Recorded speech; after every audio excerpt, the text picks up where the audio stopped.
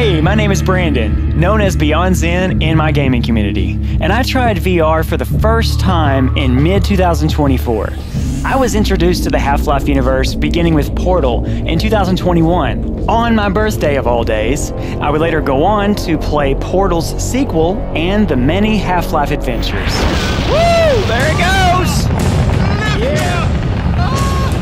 Much of this gameplay would span over a year's time and serve to refresh my memory on important events. As a big fan of the Half Life universe, I set out to make Half Life Alyx my first ever VR game. So these must be highways or something. Look how fast they're zooming something. I didn't really know what to expect from VR outside of what I had been told. Vision rendered for each eye so that it creates depth perception. The closest visual comparisons I had were looking through binoculars or watching movies in 3D. But nothing could have prepared me for my first experience. Well, first of all, let's just take in the sights. Dude. It's like the microphone's actually oh she's she's grabbing it too. It's actually like it's real. So I want to share with you my first VR adventure and what I was thinking as I played. Of course, there will be spoilers in this review, so if you have not played yet, or at least have not watched the gameplay, you've been forewarned. Don't say anything. Unlike Gordon, I'm not a man of few words, so make sure you've got your casserole out of the microwave before we begin. My God, what are you doing? There's so much I need to tell you. Half Life Alyx fully immersed me in VR, and if it wasn't for my small play space and cords running down my back, I probably would have forgotten I was recording a playthrough for you. Okay, we are recording. I love that the game allows you to pick up almost anything you see. Woo, The physics! And that includes newspapers and memos detailed with information that add depth to the story. This is for that zoo. And the ability to upgrade my weapons instead of just providing tons of them with static characteristics allows me to strategize on how I best want to take down the enemy. I noticed that the combat was a lot slower in this game compared to other Half Life titles. This was done purposefully to accommodate newer players like me. I know that this must have been frustrating to veteran players, but I really appreciated it. But now that I've played through the game, I wish that we had a mode that felt similar to the combat of the old Half Life titles. Okay, dude, you're an old man. Keep up and don't die, okay? The puzzles, however, are well crafted challenges. They are not so difficult that it slows your momentum, but it's also not so easy that you feel like they just gave you all of the goodies. I think that my favorite puzzle is the one you encounter to unlock the fabricators. It kind of reminds me of a star constellation. Overall, I think all the puzzles were really cool in their own little way, and I think they were tailored very well to virtual reality. Because you have to move your controller in a three dimensional space, I don't see how it would translate very well to a flat screen game. I know that some would disagree, but I personally think that they made the right decision making this a VR only experience. Oh gosh! Here comes something! There's something! Oh gosh, is that bad?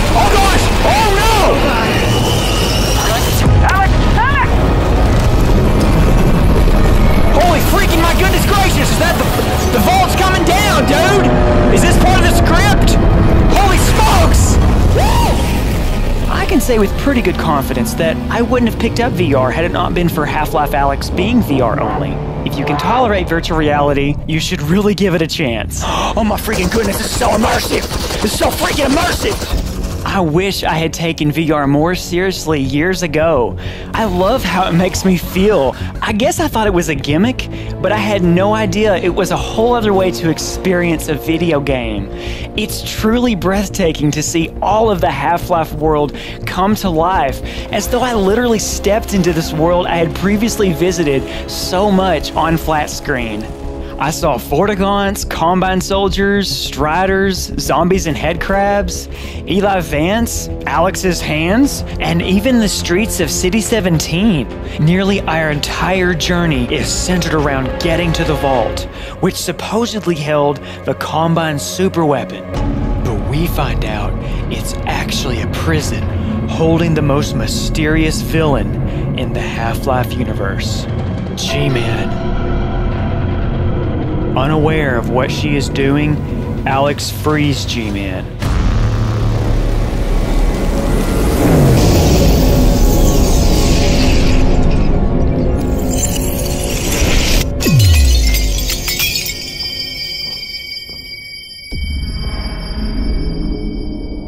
Gordon Freeman? Gordon Freeman. Miss you wouldn't need all that to imprison Gordon Freeman. So, who are you? Perhaps what I am is not as important as what I can offer you in exchange for coming all this way. G Man reveals to Alyx the tragic future of her father's death, the event we saw in Half Life 2, Episode 2. Although Alyx is presented the opportunity to save her father, such a decision will cost her dearly. I'm afraid you misunderstand the situation, Miss Vance. Wait!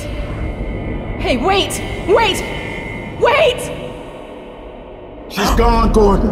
Oh gosh, She's what? gone. There's unforeseen consequences. I knew it. One of my good friends said it best leave it to Valve to give us an ending that puts us right back where we left off. Because I knew this game was five years before the events of Half Life 2, I never expected Valve to tie in the events surrounding the death of Eli. In fact, I was shocked. I was stunned. When I first saw Alyx leaning over her dad at the end of the game, I thought the implication was Alyx knew that her dad was going to die, similar to how earlier in the game, the Vort let it slip that Eli would die in the future. You will not save him. He is dead. Nuh-uh. What? Or he will be. Is or will be? It is a matter of perspective. Initially, I wasn't sure how to process these implications. Did this give Alyx foreknowledge of her father's death throughout the unfolding of adventures with Gordon Freeman in Half Life 2? Or perhaps she understood it was only a possible path forward. G Man certainly knows about altering time, it's in his nature. They authorize me to nudge things hmm, in a particular direction from time to time. What would you want nudged, Miss Vance? G Man was truly as mysterious as ever, and even more terrifying in VR. The spatial audio was incredibly immersive as he walked around Alyx. The attention to detail on his character model is fantastic, even down to his tie he was wearing, in which its sheen made it all the more realistic. Even his suitcase meant business. Oh no, Alyx, I don't know if you want this. Although I stood there and tried to do nothing, the game did not allow for an alternate ending. I kind of wish we had the option for an alternate ending, even if it was just for fun. I'll have more to say on the final moments of Half Life Alyx at the end of this video. Speaking of fun, as someone who branded his channel after the Xen world, I also found it a thrill to briefly see Xen itself while talking to G Man. To me, the art style was a fusion of the original Xen and the Xen as seen in the fan made game Black Mesa. It was simply magical, and I wanted to see more of Xen in VR. I'm amazed at how much detail they've put in this game. Everything is placed to give the world its context and feel realistic. It truly feels lived in. Floors are wet and dirty, rats are everywhere, alive and dead. You'll find bedrooms, toiletries and lockers in bathrooms, food in cabinets, and all the furniture you'd expect to see in an apartment, but it's all in a dystopian context. When you choose to make a beautiful masterpiece such as Half Life Alyx your first full VR game, it's definitely a visceral experience. Ah! Gosh! No! Oh my gosh, that feels so real! No! Nope! Nope! Nope! Nope! Crap! Ah! Okay, let's see. A friend of mine had been so eager for me to experience VR for myself, and now I see why. He was enjoying his experience on a much older Oculus.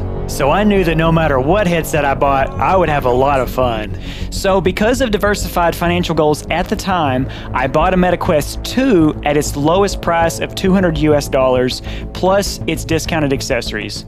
And not one to miss out on any opportunity to entertain myself, I had a great time setting up the headset. Oh my goodness! Can you imagine the Quest 3 though? Seeing objects in a new 3D way was cooler than I ever expected. Really, to describe VR as 3D is kinda cheap because it's not actually 3D, but it's actually like you're physically in that world. You can perceive distances, scales of objects and people, and of course, depth. I love that word. It's kind of like lucid dreaming, if you've ever experienced that. You know you're in a virtual world, but yet it feels so real. Here we go. Oh my goodness, dude. Look at that 3D. The valve is like, it looks like it's close. Before the game even started, I sat at the title screen just to take in the atmosphere at the base of the Citadel. It's like I was actually there. Outside of playing Crysis, I had never before seen such realistic graphics. Couple that with seeing it as though it's actually in front of you. The spectator capture mode does not do it justice. What I actually see inside my headset does have a more realistic appearance, somehow, and I don't think it's just the depth perception. It seems that the spectator mode renders a slightly more cartoonish picture. Probably to save processing power, if I were to guess. Take my word for it. This game feels like real life when you first step into it. When I first saw the balcony fence in front of me, my breath was taken away. the fence is right there! City 17 is down there, I guess. A strider and everything. Oh my gosh, dude. A pigeon? It's right there. I'm close to hyperventilating. This is so cool. It was my first time to see such hyper-realistic graphics in a virtual space. My brain just quickly became overwhelmed as it struggled to absorb all this brand new raw input. Now, since this was my first VR game, I chose to sit in my chair just so that I wouldn't fall over. My good friend had recommended me sitting down at first, but he had mentioned that you know, I'll definitely want to stand up at some point just because of the combat. And he was right about that. I literally tried to hunker down under a table just to shelter myself from gunfire, and I could not get down far enough. So by this point, I was already several hours into VR, and so I was already adjusted to the motion. So I just jumped right in. If you've never experienced VR, let me explain. Because you're moving in a virtual space, but your brain knows you are not physically moving in the real world, you can feel a little dizzy at first. So at the beginning of Half-Life Alyx, I was adjusting to this new VR locomotion, while at the same time overwhelmed by the beauty of this new virtual world. That's why I miss so many of the little details, like throwing a can at the cat on the lower level or writing with the markers on the windows. It felt so new to me. It was like being a newborn baby, seeing a whole new world for the first time. Okay, hold my hand. This is freaky, dude! Oh my gosh, it's like high fidelity crap! Oh my gosh! One combine mini reactor from a shipment of 4,000. They're never going to miss it. Hearing Eli Vance with a new voice actor was a little jarring, but I knew it was coming. With the passing of the original voice actor, there was just no way they were going to get the same tonal quality from Eli. Gordon, thanks for everything you've done for Alyx, for all of us. Alyx, on the other hand, was very convincing as a 19 year old version of herself, in my opinion. I spotted the Combine moving supplies into the quarantine zone. That place has been deserted for years. Hmm. I really like how her personality shined through, and I really enjoyed listening to the conversations between her and Russell throughout the game. So, right now, what it's like to live on Earth on a scale of 1 to 10. I'd say we're at a 2. Yep, could always get worse. What would you rate it before the Combine showed up? I'd say six. Yeah, strong six. 6? That's not great. Well, that's life, Alyx. You know, it's not always great. It was really nice to have a friend in the scary moments. What was life like before the Combine? Ah, excellent.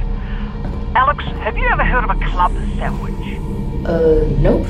Now, it was obvious that they used motion capture of real life people because all of the movements and facial expressions looked convincingly human. And not just for the people, they definitely used motion capture for characters such as the Vortigaunts and Jeff. He will rip your arms off if he finds you.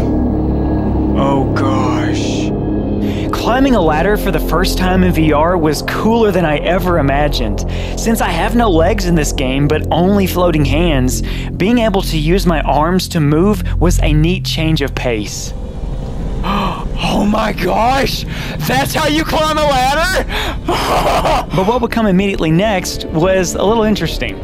The game did a really good job of convincing me I was in danger when I first encountered the Combine arresting Eli. Ah! Hey, It's cool! Hands up! I'm wait, fine! wait, wait, wait! I just, I just live here. Probable anti-citizen. Keep those hands up. Wait, wait, wait, wait, don't shoot.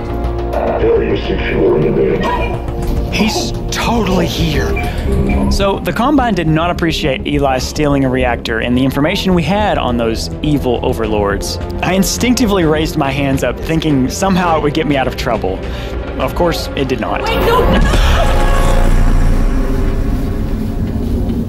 After Russell sabotaged the van in which I was held captive, I followed his friendly drone to encounter my second Strider jump scare. Although this one was more of a surprise than terror. That first one really got me. Wow! It was amazing to see how big those things were. I could actually look up and perceive its size and distance towering over me. After climbing through a window, I found myself in a cozy living space. After a quick look around, I found my way to Russell's secret lab. It wasn't that hard to find. This whole section of the game is really cool, and I wish I had taken a little bit more time to explore Russell's lab. At first, I was intimidated by the Russells, or gravity gloves as we know them. It took me a while to get used to them and actually utilize them. For some reason, I've preferred physically picking up stuff instead of using the gravity gloves to pull them to me. But once I became comfortable with them, I found these cool looking gloves very useful, and not just for grabbing things, but also for health and ammo status. So after Russell and Alyx formulated a plan to get her dad back from the clutches of the Combine, I was on my way. The handgun Russell gave me was awesome. It was the most realistic gun mechanics I'd seen to date. I had to insert the magazine, load it, and then aim the gun properly. No more point and click. It felt very lifelike for my first VR game. Encountering my first zombie was, well, not so lifelike. As graphic as it was, I was still impressed at its appearance, as its blood glistened in the sunlight. Having the ability to peer inside their mouths and wounds made me keenly aware I was looking at 3D models and not just some camera trickery. It's neat how Valve fleshed out the health stations. It begs the question was it always a squished worm that gave me health? I kind of feel bad for it. Or are they just those glowworms in episode 2 that hurt my ears? Man, these things screeching. Shh, be quiet. It makes sense if they were. I'm just glad they're not so loud this time. It was freaky to watch the needles go into my hands, and even more so since there's haptic feedback in the controllers. The vibrations are cleverly timed to make you believe you're actually getting stuck. These health stations are amazingly detailed, and I'm curious to see what an HEV recharging station reimagined would look like from Valve. If they give us a Half Life 3, I predict we will see that. I predicted all of this, you know. All of it. All of it.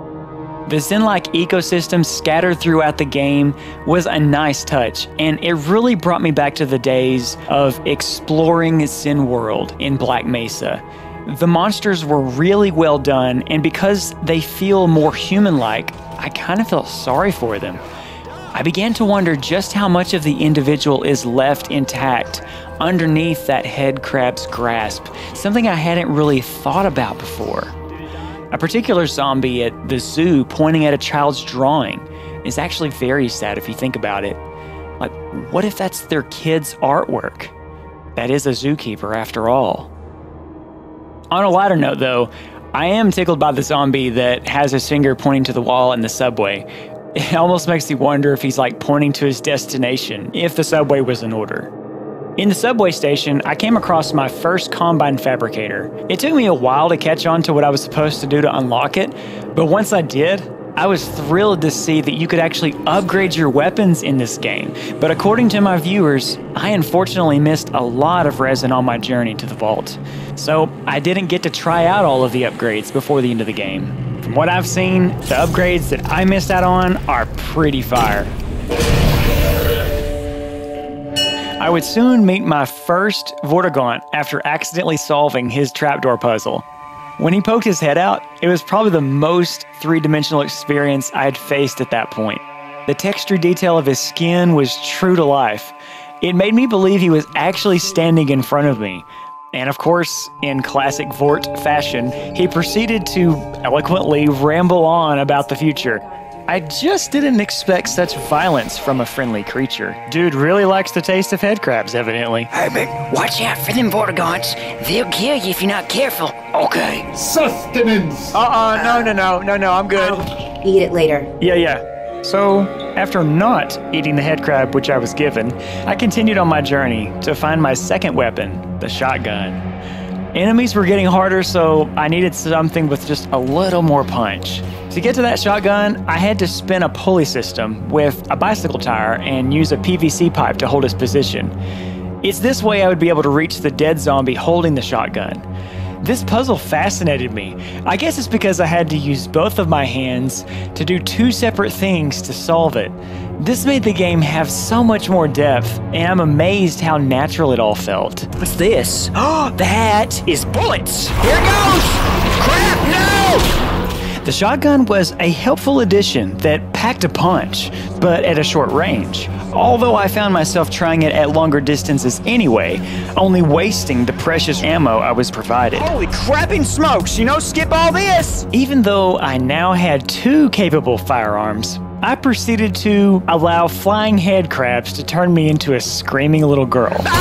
Oh no, I bet you do! Ah! I swear when the thing is in 3D, it feels like he's actually gonna get you. And the darkness that followed made matters much worse. I don't know how normal it is for a man in his early 30s to still be afraid of the dark, but that's me. I hate the dark. I don't like going into the dark, and I especially don't like the dark behind me. A flashlight almost makes it worse. What is my light going to reveal staring right back at me? So I really had no problem reaching into the pocket of a creepy dead guy for a flashlight. It was using the flashlight in the cave behind me and the pathways that followed. I was soon enveloped by thick darkness with explosive barrels all around me, and I had to be very cautious to not make myself a tasty treat for these barnacles above me. Because of the darkness, it felt very claustrophobic. Oh, we're going outside. Oh, back into City 17, yo! Look at this! Combine. Oh, Russ, Combine. These guys have automatic weapons. I'm gonna have to be really careful. Oh, whoa, dude, he's flinging! Oh my gosh! Ah, crap. Ah! Crap, shoot. After proving that my combat skills against the Combine still needed some work, I intercepted the train in which Eli was being transported. That whole train crash sequence was spectacular.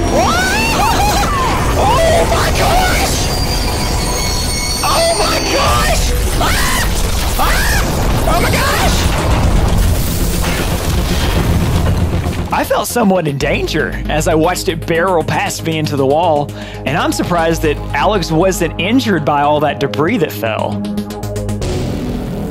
Dude, that was so freaking cool and scary at the same time. Like, I.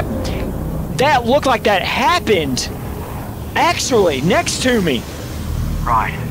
Look for the prisoner transport car. Should I got it. towards the front of the train. Whoa, crap, that freaking scared me. Find a way into the wreckage. When I climbed through the crashed train cars, I found Eli hanging on for dear life. Give me your hand. Oh man, this is freaking! Come on, no! Eli! When he fell, that shocked me because I knew he wasn't supposed to die yet. But thank goodness there was a Vortigaunt there to save him. Eli would be decrypting a Combine data pod back at Russell's lab, while Alyx would make her way to the vault for the rest of the game. I got my first view of the vault shortly thereafter. It looked so magnificent in the sky. I loved the lighting, and it just looked so big. A bit later, the game would introduce me to grenades and how to use them effectively. Now, it's worth mentioning that the shotgun has a grenade launcher upgrade, which does make it easier to hit your targets, one being because the grenades explode on impact. I know this firsthand because I've since had a chance to start another playthrough, and I can definitely see how having this upgrade would have been useful had I made it a priority. My first encounter with the Combine Heavies came at a surprise, as he came out of hiding and without hesitation blasted me from the end of the hallway. Holy smoking boys! Shoot! Crap! Shoot! Get down! Get down! It was at this point in the game when I could no longer sit down in VR. I had to stand up. It was long overdue. The combat was getting too intense, and I needed to be able to quickly duck for cover. This is when VR started to really level up for me. With a few hours of VR under my belt, surprisingly, I adapted rather quickly to standing up. I only briefly became dizzy, but it quickly passed, allowing me to keep going without losing my balance. Standing in VR was just truly a game changer, and it made the experience so much more immersive, and I only wished I had tried it sooner. Man, that was intense, man. It felt even more intense whenever I'm like standing up, though. As I reached the Northern Star Hotel, I oh, stood under one of the substations of the vault, and I just realized how small I was in this world, or rather, how big this open world was. Just inside the hotel was a piano. Now, I took piano lessons when I was younger, so this part felt very special to me. But because I didn't have individual finger dexterity, I couldn't really do anything except hammer away on the keys. Well, I could kinda play chopsticks.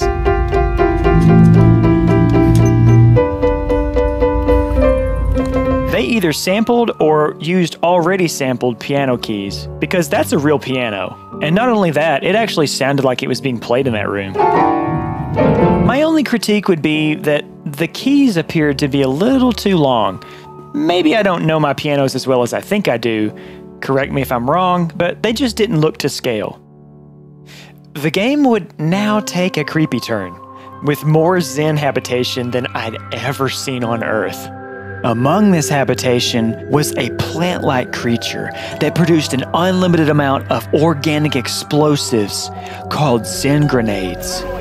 This creature reminded me of the enemies in Xen that impale you, and so naturally I tried to kill it. But thank goodness it's invincible. Some parts of the Northern Star had a relaxing vibe, so I didn't mind that. But others were straight out of a horror movie. I don't like this at all. Listen. Listen. Uh oh. Whoa. This place is crawling with head crabs. There's probably an enemy or two. Yep, yep. Oh, I see lighting effects. Besides the poisonous head crabs, this place is home to what Alyx calls lightning dogs, although I see a stingray more than a dog. I would face more than one of these fast little boogers, and several of them would use dead zombies as hosts to cast bolts of lightning at me. And although I found their pattern predictable, that didn't take away the stress from these challenges.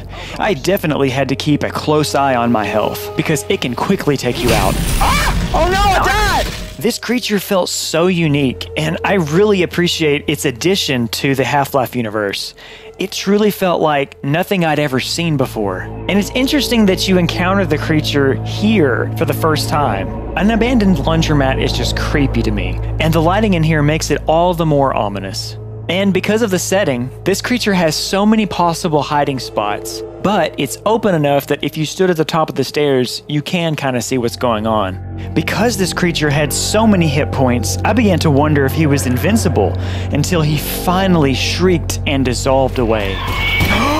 it did die! It did die! Yes! Alyx, what happened? Even though I was confused on how to proceed next, I like to see how the devs forced me to think outside the box, as you had to use this creature's heart to power the door. It worked! I probably searched around for like at least 15 minutes.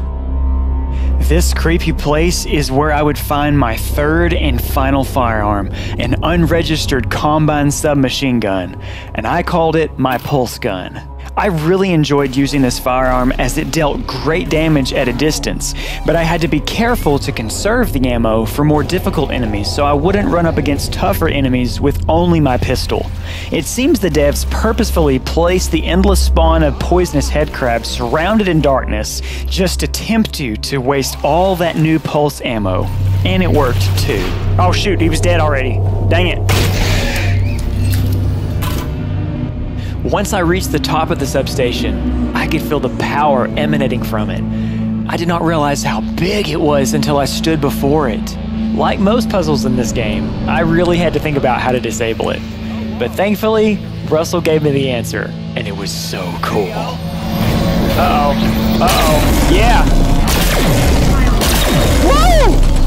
After I spectacularly disconnected the cables, I discovered the Combine was using the Vortigaunts to power their substations. The Vort was super grateful for being set free, and vowed he and his kind would help me take down the rest of the substations. I loved the perspective of seeing him elevated above me as he gazed at the vault in the distant sky. His raised position felt symbolic of an upcoming victory, like a hero standing on top of a mountain with his fist held high. Uh-oh, I see what's happening there. Oh crap in the what? What? What?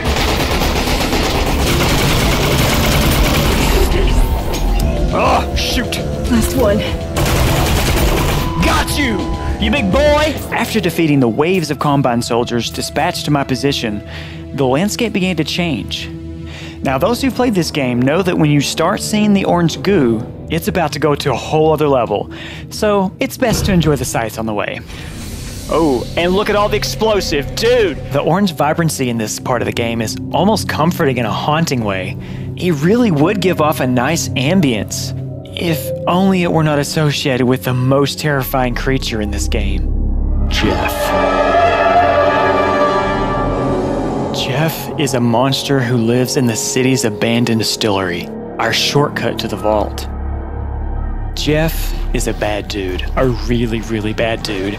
He's virtually invincible. He has heightened hearing senses, but is blind. That is a detail that I missed in the dialogue when I first met Larry.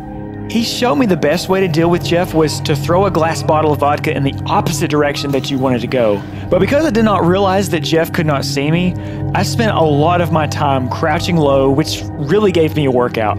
Jeff is very predictable and pretty easy to work with once you learn his mechanics, but on your first playthrough, he is the most terrifying creature you've ever faced.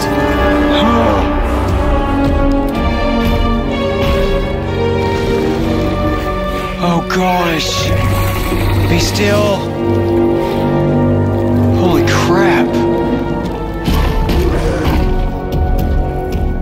When I locked Jeff in the freezer, I thought I had him. I thought I was safe. I would open the elevator and escape. But I would quickly find out that in order to proceed, I had to get back into the room where Jeff was. So that meant I had to let him out. I can't describe the dread that I felt. I know we all felt in that moment of realization. Oh crap! He's locked though! He's locked!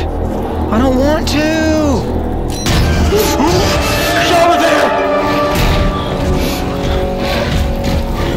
Let's see, let's see, let's see, let's see, let's see. Where's it going? Where's it going here? Things. Oh gosh, why would you do that? It's doing this. That's that that seemed right. It made the oh shoot. Jeff hitching a ride on the elevator was not much better. Because of my vivid imagination, I really felt in danger. Remember how I said I don't like the dark? I also have leftover childhood fears about monsters. To this day, I still long step into my bed to avoid getting my ankle grabbed by whatever's lurking underneath. And when I have my back to something that's scary, my body goes into fight or flight. What's gonna happen? Let's go! Let's go! Go! Go! Go! Go! Freaking go! Go! Go, go, go, go, go, go, go! Oh crap, freaking, freaking, freaking, freaking, freaking, freaking, freaking! So much stress in this chapter. Thankfully, I'm eventually given the chance to exact my revenge on Jeff with the trash compactor. I can lock him in there! I can lock him in there! Yeah, boys! We're doing this. yeah, that's right, boy! Watch this! This is gonna squish you!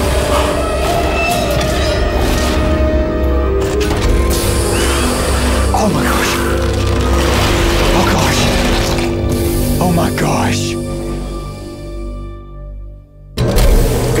Once I restored power, I was able to open a tunnel which Russell said would lead to the vault. I wasn't sure how that was going to happen because the vault was in the air and we were going underground, but I just had to be patient and wait. I quickly realized I found myself in an antlion nest. They had made their home in and around the local zoo. This zoo had somewhat of a calming atmosphere. despite the Xen monsters lurking about.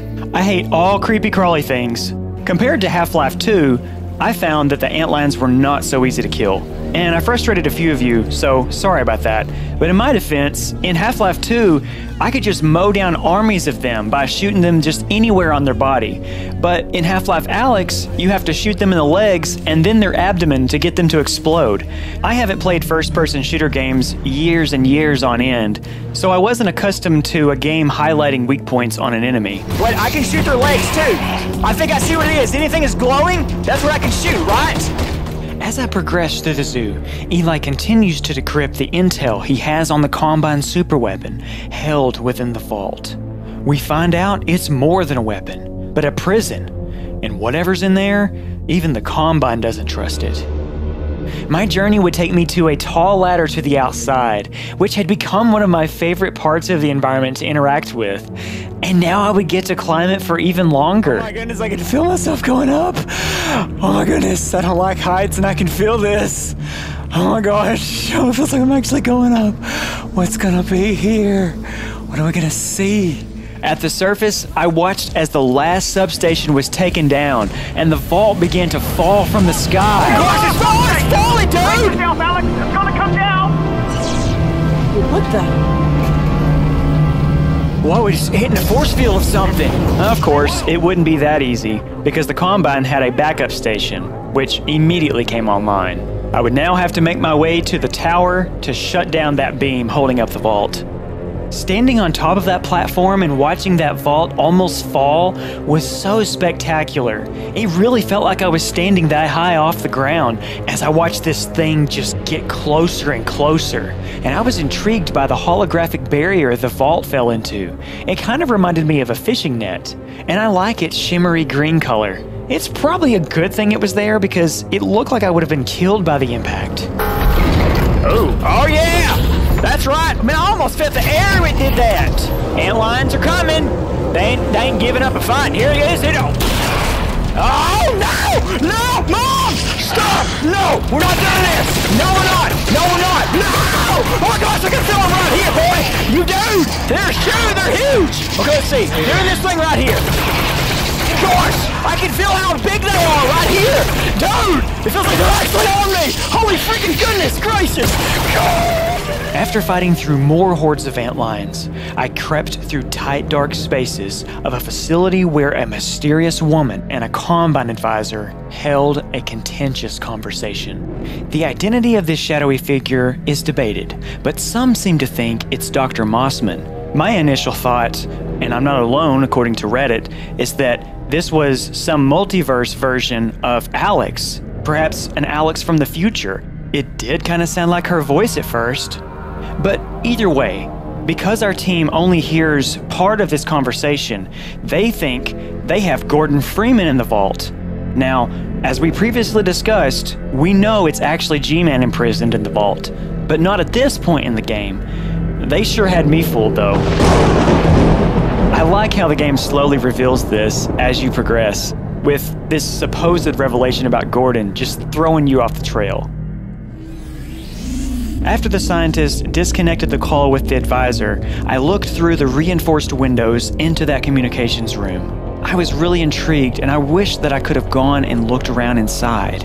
However, the hideaway that would soon follow would be accessible. It felt so cozy, and for some reason, I just loved the little plant over by the bed. And I was fascinated by all the little odds and ends, especially the lenses for the Combine helmets. It's just something about the vibe in here that was just really inviting. It's in this Revelations chapter that, well, we learned that the antlions are being milked of their orange goo, but I'm still not clear as to why. The rooms with all of them hooked up to machines was very eerie, and it was especially creepy to see that one antlion suspended in a room all by itself, surrounded by all that apparatus. It was like straight out of a horror movie. I was reminded of just how much I shouldn't be here. I never did get efficient at killing the orange antlions, and the blue ones were especially hard for me because they were flying everywhere. I'm just not great at moving targets. I'm definitely going to need to practice more. Yeah, that's right, explode. There was the last, one. Okay. Yes. Hey, Russ. That was much better. You want to swap in here? Check that out. No, I would probably die instantly. Once I finally got past all the ant lions, I broke into some sort of facility and followed it through to the outside again, where I was met by more Combine forces standing between me and that tower. Taking down the vault was amazing. That sequence played out just like a movie as Russell shouted at Alyx as she attempted to dock the bridge to the vault by frantically pulling random levers. I'm not sure there was a right combo, but the game seems scripted for the vault to come crashing down in the middle of the quarantine zone. Oh no!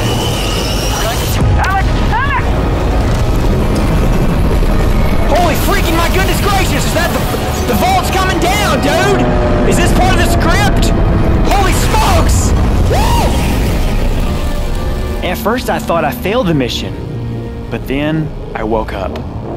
It's amazing that Alyx survived being in such close proximity to the impact. But as my grandfather, or Big Paul, always says, now that's just television. And you know it's also just television, Big Paul? A humongous three legged arthropod like Combine synth waking up angry and start chasing Alyx, shooting at her with its pulse gun. Since I didn't have an RPG on hand, I knew from the beginning that my little guns would not work against it, but that didn't stop me from initially trying. These arthropods are called Striders, and they were scary enough in Half Life 2, but seeing it chase you in VR is absolutely terrifying. They could have easily made the Strider even more aggressive as you ran and ducked for cover in the ruins of the QZ, but I'm glad they didn't. I was already nervous, as this was the biggest enemy I had ever faced in virtual reality. After running for what felt like forever, I reached a turret, a big gun that would let me take this thing out. I totally missed that there was this big blue shield protecting me from the Strider's small arms fire. It was also pointed out by my fans that I didn't have to crouch to shoot, but that I could stand up. That definitely would have made it a lot easier, as without knowledge of the shield, I truly thought that the turret was there for cover while firing back. It took me several tries because the Strider kept knocking me out with its warp cannon. Okay, watch for the blue orb. He's about to do the blue orb again. I think. I think so. Wait, he's, he's tied. He's tied. I got it. After I finally defeated it, I was beamed up into the vault with Eli shouting after me on the radio to not go in. Evidently, he figured out what was inside the vault all along, but a little too late. When I opened my eyes, what I saw was not what I expected. I had been transported to this kitchen of a hotel cast in glowing emerald light. The nearly atonal soundtrack adding mystery to this otherworldly destination. I began making my way down creepy hallways and past a ghostly figure on a staircase. I followed the path which led me to my first sighting of the containment unit imprisoning the super weapon. Oh gosh. Holy crap. Dude. What is this place? Notice how it looks just like a bacteriophage, a type of virus that infects bacteria.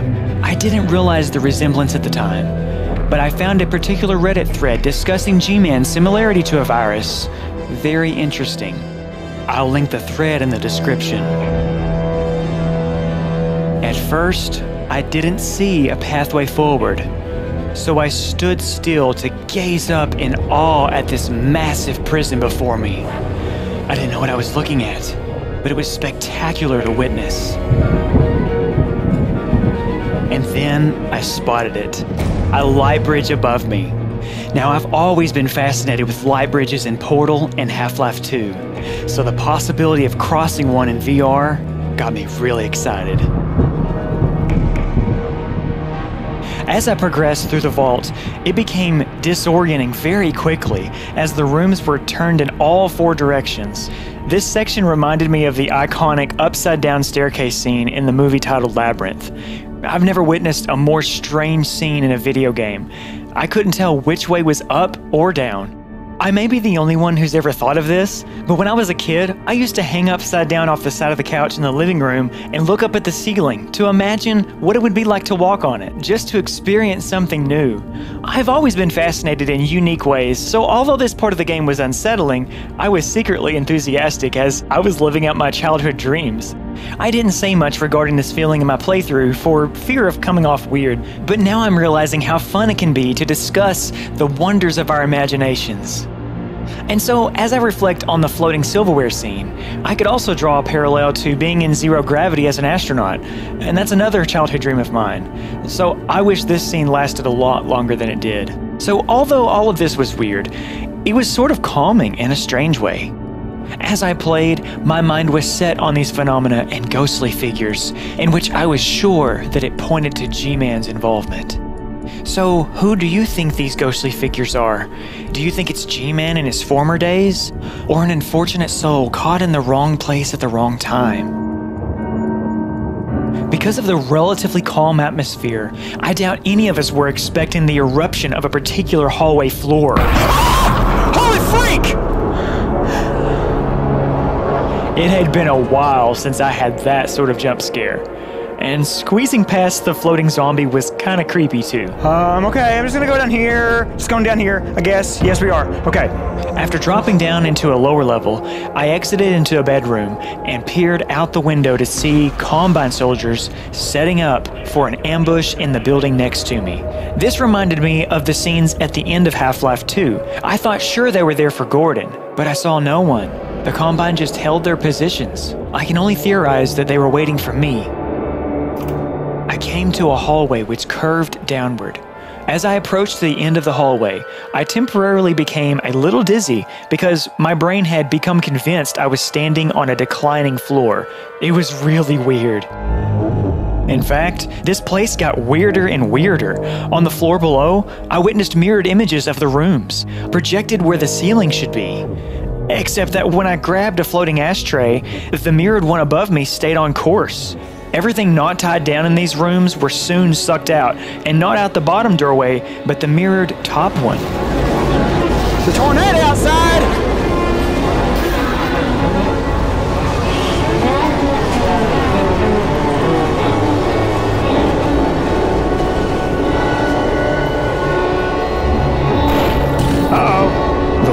Out became clear, into the blue nothingness. Oh, I guess we're going this way.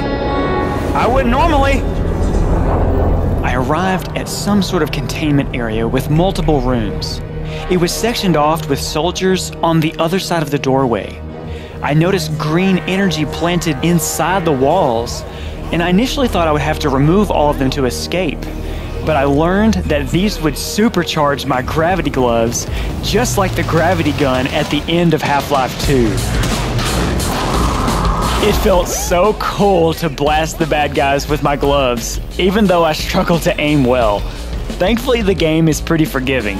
I felt like a superhero as energy eliminated one soldier at a time. I grab a couple of these for the road. Yes, that's right. I'm so powerful. You can feel the haptics in this. It's like vibrating like crazy. I thought it was a nice nod to what we saw happen with the gravity gun without being too much of a copycat. They just, they just supercharged my gravity gun. Grenades must be the bane of my existence because I did not fare well with them at this stage either. On this particular day, I had been in VR for over two hours, which is a long time for me personally, especially when entertaining for a camera. I could tell by the way that the game was building up that it was about to be over, so even though I was really, really tired at this point, I kept going. Come on! Man, this is so freaking awesome! I feel like an adventure! Yes! When the fighting was finally over, I made my way across the light bridge that I had so hoped to cross. The light bridge! We're going across the light bridge, dude! Yes! That light bridge looked so beautiful in VR. And I was so distracted by the figure inside the inner containment field that I completely missed the second light bridge leading to it. I know that figure. That's that's G-Man's figure. I knew in my gut that it was G-Man, But when I got an achievement saying I reached the super weapon, I second guessed myself.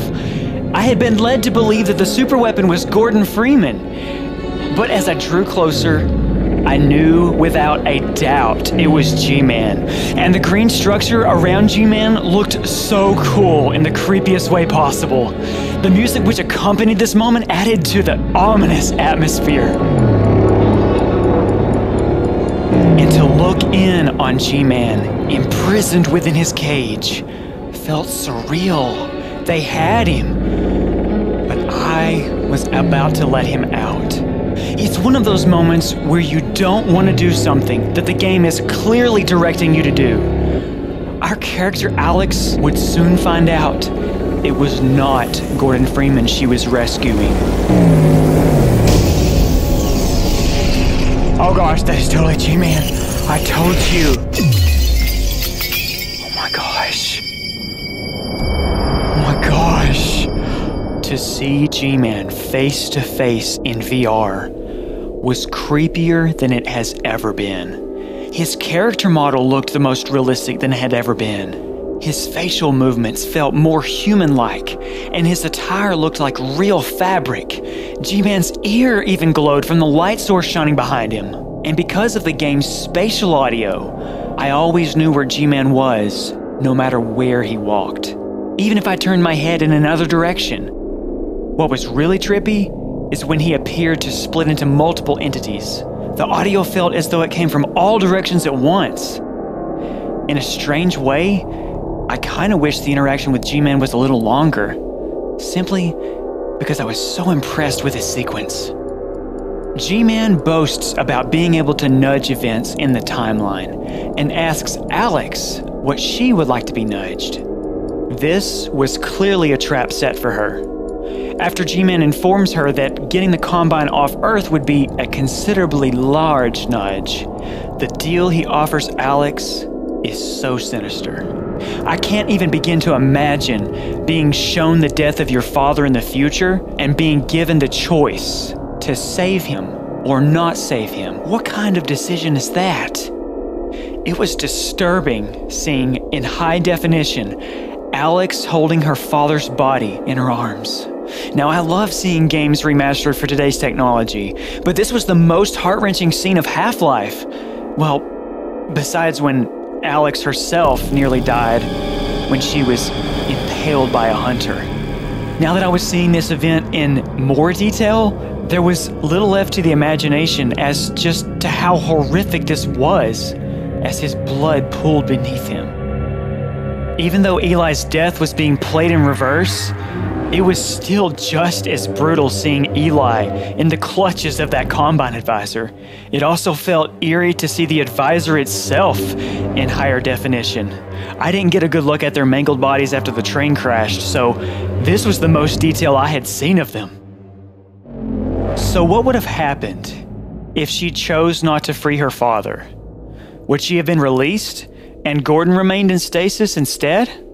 But we all know that G Man knew what Alyx would choose. Kind of like when G Man told Gordon, I have recommended your services to my employers. and they have authorized me to offer you a job. Otherwise, I can offer you a battle you have no chance of winning. Time to choose.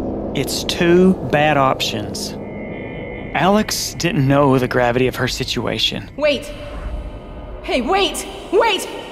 Wait! I was so shocked at what I had just witnessed, and it all happened so fast that I was trying to process everything. I'll be honest, I was worried that my recorded reaction wasn't going to live up to everyone's expectations because I just stood there in disbelief. But I realize now that I think we all had a similar reaction.